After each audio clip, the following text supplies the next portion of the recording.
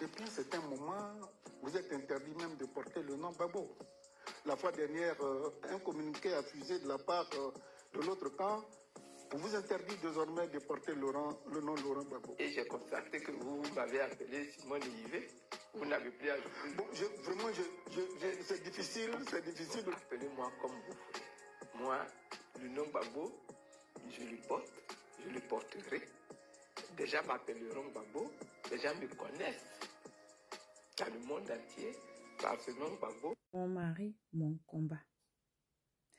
Euh, pire encore, hein, quand je vois certaines personnes dire que mon rêve, c'est de commencer avec quelqu'un dans la galère.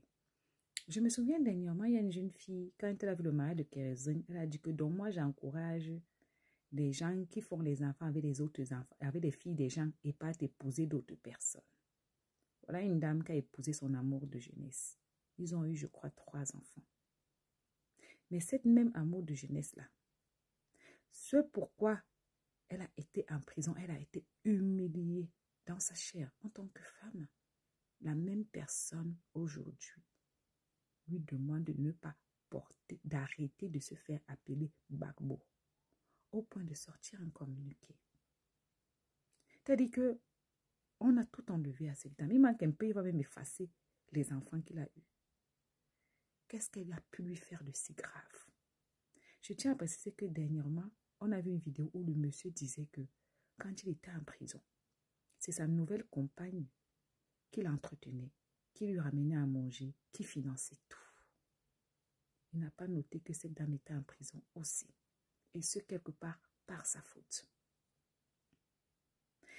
Je ne sais pas si vous avez compris, la roue tourne les filles. Vous qui êtes mariés, arrêtez de penser que vous êtes à bon port et que votre mari, c'est celui-là même qui va vous enterrer, ou bien que euh, sans lui, ou bien sans vous dans sa vie, il est perdu. Arrêtez de penser que vous maîtrisez. Arrêtez d'en faire votre meilleur ami.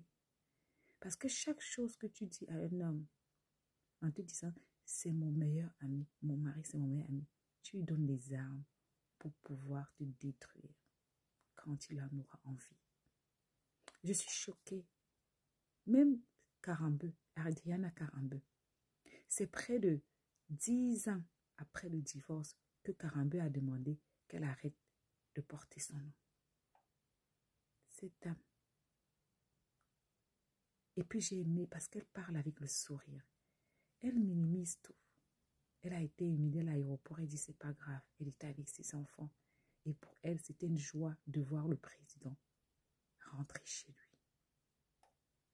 Vous savez, la vie, hein. la terre qu'on piétine ici. Vous marchez à gauche, à droite, vous demandez aux femmes que tu te maries quand? Moi, j'ai un mari. La fin d'une chose, des fois, est pire que son commencement. D'accord? Même à 70 ans. Le mari dont tu te vantes là peut te déposer au carrefour de la pire des manières. Courage à Madame Bagbo, du moins. Courage à Madame Simone. À bisous.